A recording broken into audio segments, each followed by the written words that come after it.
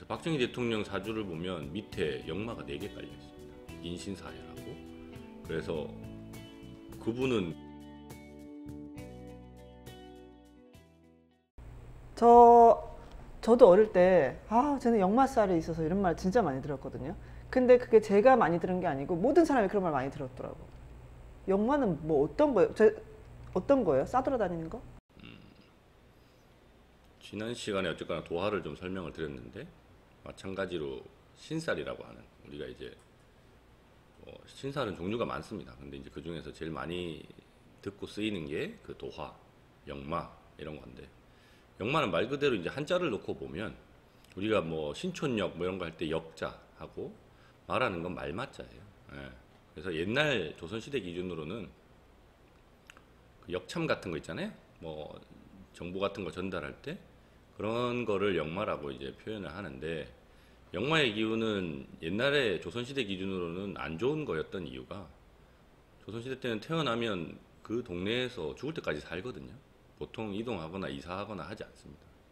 그래서 뭐 한 60년, 70년 또 뭐 100년 넘게 한 동네에서 그냥 혼자 살다가 하는데 역마가 그러면 조선시대 때는 어떤 식으로 발동되느냐 전쟁, 역병, 귀양 뭐 이런 거예요. 다 어디 가면 그 대신에 이제 좋은 것도 하나 있죠. 장원급제하면 한양 가는 거는 좋은 거예요. 예. 근데 좋은 거 하나 대비 나쁜 게 너무 많으니까 안 좋다 이렇게 얘기를 했는데 제가 항상 이제 많이 얘기하는 것 중에 하나가 이제 이 명리학도 시대에 맞춰서 좀 반영을 해야 된다라고 얘기를 드린 것 중에 하나가 또 이 역마입니다.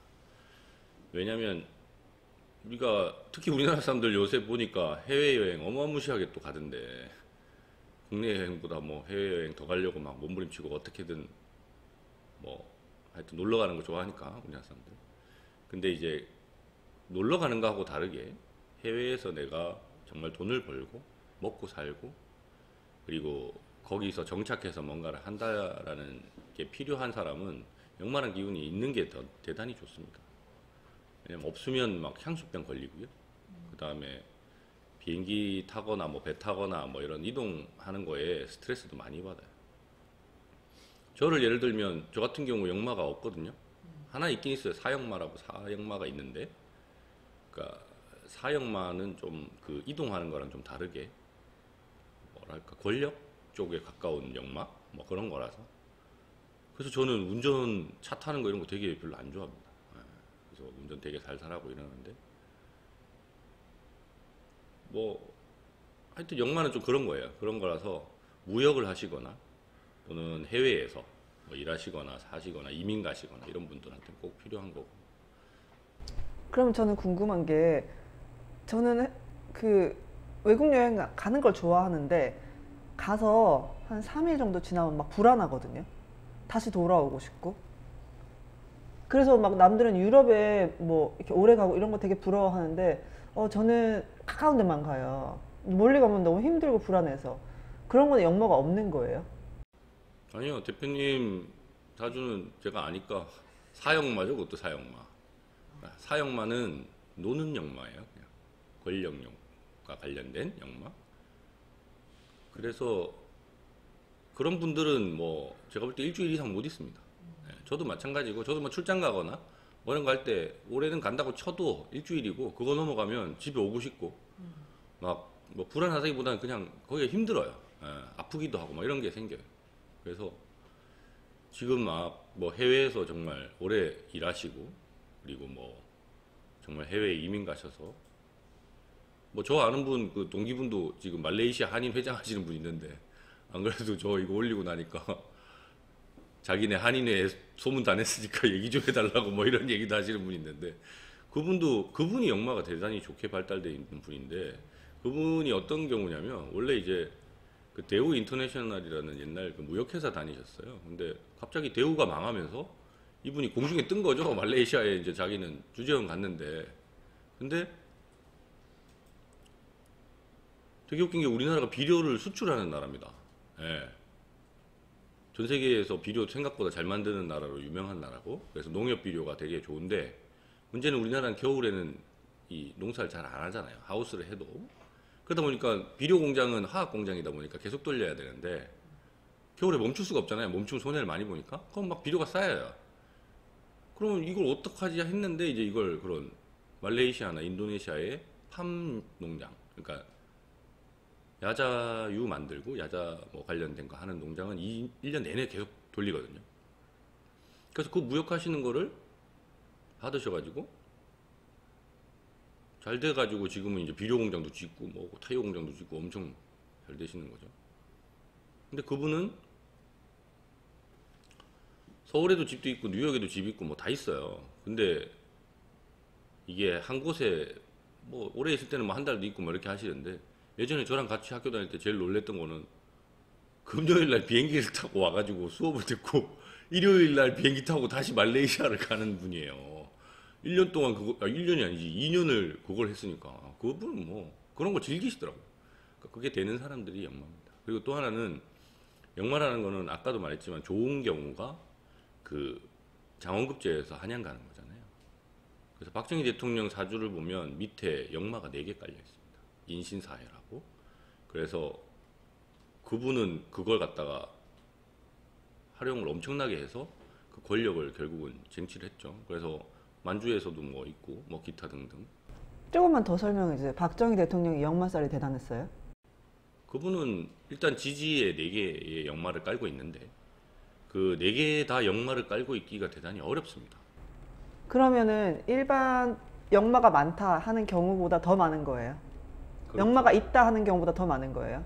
아, 그렇죠. 왜 그러냐면 보통은 이제 아까 얘기한 인신사회라는 그 12지지 중에 4개가 역마를 뜻하는데 그렇다고 그게 있다고 무조건 역마가 되는 건 아니고요. 항상 말씀드리지만 도화도 마찬가지고 조건이 돼야 되는 거거든요. 주변에 이제 다른 그런 거와 맞춰서 조건이 돼야 되는데 그런 조건까지 맞추면서 종류별로 다 가지고 있는 게 대단히 어렵습니다. 예, 저도 많은 사람들 사주를 보지만 뭐 같은 걸로 두 개 있거나 뭐 아니면 그게 되게 이렇게 발동이 되도록 하는 방식이 돼서 뭐 한두 개 정도 있는 건 봤지만 네 개를 그렇게 다 깔고 있으면서 그게 다 활성화되기가 쉽지가 않거든요. 그러면 역마를 깔별로 다 갖추고 있는 박정희 대통령 이거네. 그렇죠. 그러면은 그런 권력을 가지게 되는 거예요? 권력을 추구하게 됩니다. 네. 그리고 워낙 이제 그분은 신강하고 뭐 이러다 보니까 그런 걸 쟁취를 하게 되는 거죠. 권력의 기본 스펙이에요? 아, 꼭 그렇지는 않아요.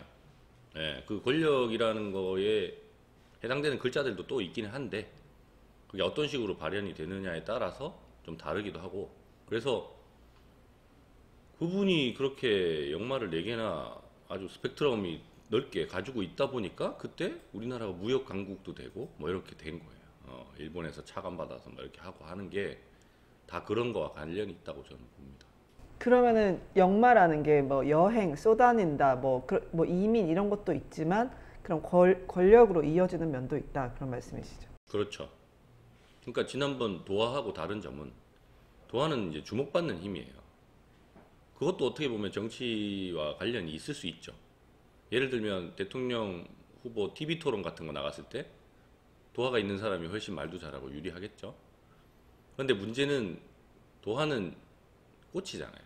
그때 지난 시간에도 말했지만 그냥 이쁨 받으면 끝나는 거예요. 그게 지속성이 있거나 또는 그걸 통해서 뭔가가 구체적으로 발현되는 힘으로까지 가려면 다른 조건들이 받쳐줘야 됩니다. 그런데 영마는 그거 자체만으로도 이미 그런 조건들을 가지고 있기 때문에 오히려 권력이라는 측면에서 놓고 보면 영마가 훨씬 더 유용한 기운이겠죠. 네. 하여튼 그래서 외국에 계시는 뭐 우리나라 분들 힘드시면 제발 돌아오시면 돼요. 그걸 버티고 가만히 있으면 안 돼요. 왜냐면 영마는 자기가 감당하지 못하는 그 기운들을 가지고 이제 외국에 계속 그냥 억지로 사시는 분들이 있어요. 왜냐면 뭐 상황 때문에도 그렇고 환경 때문에도 그런데 그리고 뭐 회사에서 그렇게 보내면 어쩔 수 없는 분도 있고 그런데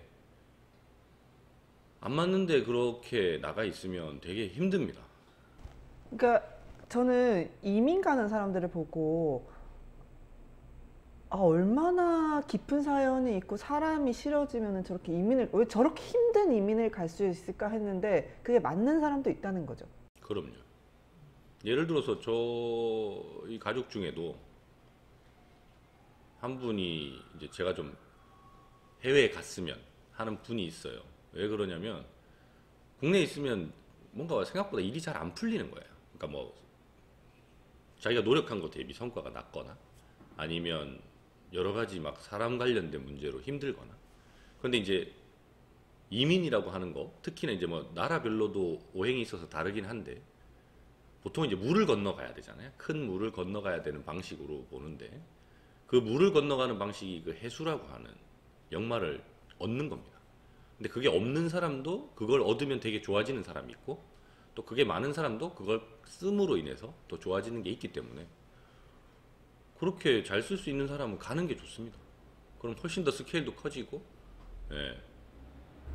그러니까 그 저는 어릴 때 이제 돈을 모아가지고 처음으로 외국에 나가는데 그 푸켓에 오래 가면 좋은 줄 알고 2주 예약을 해서 갔는데 딱 5일 지나니까 병이 나더라고요 실제로 아무 이유가 없는데 병이 나 그래서 저막 체하고 막 너무 괴로웠던 기억이 있고 그리고 이제 뉴욕을 거의 1년에 막 몇 달씩 왔다 갔다 하는데 남들 그렇게 가고 싶은 맨하탄인데 가면은 너무너무 막 지저분하고 비싸고 도대체 여기 왜 좋은지 모르겠는 거예요. 그게 그게 역마가 없어서 그런 거죠. 그 역마가 그런. 해석 나는 좀 약간 풀리는 것 같아. 아니 근데 있긴 있어요. 대표님은 역마가 있는데 문제는 본인은 신사일주다 보니까 그 해역마를 쓰면 나한테 되게 중요한 사화가 충을 받아서 힘을 못 쓰게 되는 겁니다. 그러니까 자꾸 아프고 가면 꼴보기 싫고 뭐 이런 거예요. 그러니까 갈 수는 있는데 가봐야 별로 도움이 안 되는 거죠. 뭐 뭐가 좋냐면 갔다가 한 2박 3일 있다 그냥 어. 돌아오는 게 술 한잔 먹고 돌아오는 게 어, 좋아요. 네. 예. 그게 맞는 거예요. 그러니까 차라리 자주 왔다 갔다 하는 게 낫지. 네. 오래 가 있는 건 안 맞는 거죠. 아, 근데 그런 분은 이민 가면 안 됩니다. 어. 병납니다. 돈 있으면 한국이 좋죠. 아, 그건 맞, 맞는데. 아, 돈과 권력이 있으면 한국이 제일 좋은 나라입니다. 네. 그건 한국 사람한테는 당연히 한국이 제일 좋은 나라죠. 중국 사람한테는 중국이 제일 좋은 나라고, 일본 사람한테 일본이 제일 좋은 나라예요. 그건 어쩔 수 없는 거고. 각 나라의 속성도 있기 때문에. 하지만 그 역마라는 기운은 좀 세게 보기 때문에 저희가. 특히나 이제 교통사고 있잖아요. 예. 교통사고 난다, 안 난다 이런 얘기를 해드릴 때는 그 역마가 충이 나는 경우 특히나 이제 신금이라고 하는 게 이제 보통 우리가 차로 보는데 그 신금 역마가 충이 나는 경우를 이제 교통사고 나는 걸로 봐서 언제 몇 월 달 조심하세요. 어, 차 좋은 거 타세요. 이렇게 얘기해 드리는 게 그런 이유입니다. 네. 그러면 어른들이 아 뭐 역마살이 있어갖고 막 이런 거는 어떤 경우에 그런 말 하는 거예요? 그냥 하는 소리죠. 왜 이렇게 싸돌아다니냐 이런 거예요? 그렇죠. 부모 입장에서 자꾸 싸돌아다니기 꼴보기 싫으니까 역마가 있다고 얘기해서 집에 좀 있으라고 얘기하는 거죠. 그러면 그럴 때 반박할 수 있는 말이 있죠. 그 역마살은 싸돌아다 싸돌아 다녀야 권력을 추구하고 돈을 번다 그런 거 아니에요? 그렇게 얘기하면 되기는 하는데 그럼 부모님도 싫어하시겠죠? 네. 아 그래서 뭐 조금 더 이제 역마 관련해서 얘기를 하면 아까 얘기한 대로 이제 지지에 인신사해 네 개가 이제 기본적인 역마의 글자인데 인이라는 거는 이제 호랑이, 신이라는 거는 원숭이, 사라는 거는 이제 뱀, 해라는 거는 돼지 뭐 이런 건데 인신 두 개는 양의 역마고요. 사해 두 개는 음의 역마예요. 그래서 보통 우리가 아까 얘기한 교통사고 얘기를 하는 거는 인하고 신, 인신 두 개의 역마가 충이 나는 경우. 그러니까 인신 두 개는 충이 나거든요. 하나는 목 기운이고 하나는 금 기운이다 보니까 당연히 금극목해서 충이 나죠. 네, 네, 충돌하다의 충입니다. 근데 이제 글자는 조금 한자도 예, 충돌하다 충. 그러니까 이렇게 이수변에 가운데 중자 들어간 거고 좀 더 풀어서 쓰면 이렇게 하여튼 더 어려운 한자가 있어요. 그래서 충돌하다 할 때 충자가 맞습니다. 부딪히는 거. 지난번에 음양오행 얘기할 때 조금 얘기했지만 충이라는 게 이제 그건 뭐 나쁘다 좋다 이게 아니라 자석으로 치면 이제 N극 N극 S극 S극 해서 밀어내는 기운이 충이고 그 다음에 합이라고 하는 거는 이제 합치는 건데 그건 이제 N극 S극 이렇게 해서 붙는 기운 뭐 이렇게 보시면 돼요. 그래서 교통사고는 이제 대부분 그 인, 신, 충 요거 가지고 많이 얘기를 합니다. 그 다음에 사화 사화가 이제 권력의 욕망 뭐 이런 거예요. 어, 불이기도 하고 그 다음에 해 해는 해수죠 물 예, 이게 이제 해외 나가고 뭐 이런 건데 사화와 해수도 불하고 물이다 보니까 충이 나요. 사해충. 예. 이게 부딪히거든요. 그러니까 웃긴 게 역마는 그렇게 두 개의 음의 양의 기운들이 각각 부딪히게 되어 있어요. 구성 자체가. 예. 그래서 센 힘으로 저희가 보는 이유가 그겁니다. 부딪히니까. 예. 근데 이제 그게 당연히 부딪힌다는 거는 움직이게 되고 역동적이게 되고 이러니까 이런 역마를 가진 사람들이 좋은 점은 활동력이 다른 사람보다 훨씬 높아요. 예. 그래서 해외 나가서도 잘 살 수 있고 거기서도 내가 꿀리지 않고 자기 할 얘기 다 하고 자기 하고 싶은 일 다 하고 뭐 이런 걸 할 수 있는 역량이 있는 사람들이라서 자꾸 이제 그 아까도 말씀드렸지만 부모님들이 싸돌아다니는 게 싫어서 역마살 있으니까 좀 집에 붙어 있어라 뭐 이런 거 얘기하시는데 그거는 이제 과거의 얘기고 지금은 글로벌로 더 나가서 더 많이 활동하고 해야 되는 시기이기 때문에 그런 역마를 좀 더 잘 활용을 해서 본인의 그 역마를 좋게 활용하면 되게 큰 에너지로 내가 쓸 수 있습니다. 그래서 그거는 최대한 활용하시는 것을 추천을 드립니다. 그럼 역마가 없는 것보다 있는 게 더 좋은 거네요. 현대에서는. 그렇죠. 현대에서는 도화도 마찬가지입니다. 도화나 역마는 과거에는 되게 싫어하는 기운들이었으나 지금 현대에서는 제가 볼 때 본인이 인정받고 뭔가를 하고 싶다라고 하면 꼭 필요한 기운들인데 또 그러면 이제 문제가 생기죠. 없는 사람은 어떻게 하나요? 뭐 이런 게 있는데 사람 어떻게 하나요? 없는 사람은 어떻게 하냐면 예, 없는 사람은 어떻게 하냐면 없다고 그 기운을 못 쓰는 게 아닙니다. 자, 예를 들어서 사주가 꼭 맞느냐 라는 걸 물어보면 저는 이제 80%는 맞고 20%는 안 맞을 수 있다라고 얘기하는데 왜 그러냐면 명이라는 거는 나한테 정해져 있는 것이지만 운이라는 건 내가 바꿀 수 있는 겁니다. 그러면 누구를 만나고 내가 어느 장소를 가고 어떤 일을 하고 하는 건 내가 선택할 수 있고요.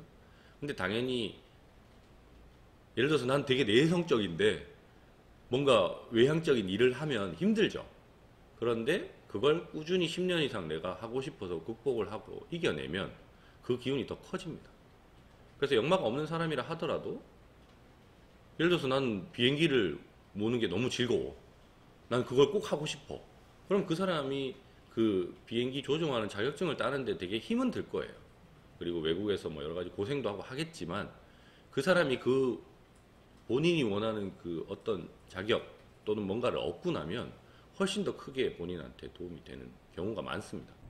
아, 없는데 그것을 추구해서 어렵게 얻으면 훨씬 더 좋을 수가 있다. 그렇죠. 그 우리 저번에 말씀하셨던 도화가 없는데 연기자가 된 배우들처럼 맞습니다. 네. 그러면 더 꾸준히, 더 많이, 또 더 다양하게 인정받을 수 있는 거와 마찬가지라고 보면 되죠. 그래서 그래도 타고난 게 더 매력적이긴 하죠. 그게 쉽습니다. 네. 그래서 저희가 상담하거나 할 때 그 알려드리는 거는 다 빠른 길, 편한 길, 쉬운 길을 알려드리지 어려운 거 알려드리는 건 아니에요. 그런데 그걸 못하느냐, 못하는 거 아닙니다. 할 수 있습니다. 할 수 있는데 당연히 사람이니까 편하고 쉬운 길을 추구하지 힘든 길 굳이 뭐 비 오는데 저기 진흙탕 길로 갈 이유는 없잖아요. 그럼 편한 아스팔트 길로 가면 되지. 그래서 이제 알려드리는 건데 그렇다고 해서 자신의 꿈이나 이런 걸 포기하기보다는 하고 싶은 게 있으면 그걸 위해서 노력하는 게 오히려 더 자기의 삶을 개척하는 측면에서 더 좋지 않나 하는 생각이 들고 그런 면에서 역마라는 기운을 가지신 분들은 이미 그런 자기의 삶을 개척하려는 노력을 많이 하시는 분들이라 저는 현대에서는 오히려 더 인정받는 방법이 아닐까라는 생각은 많이 듭니다.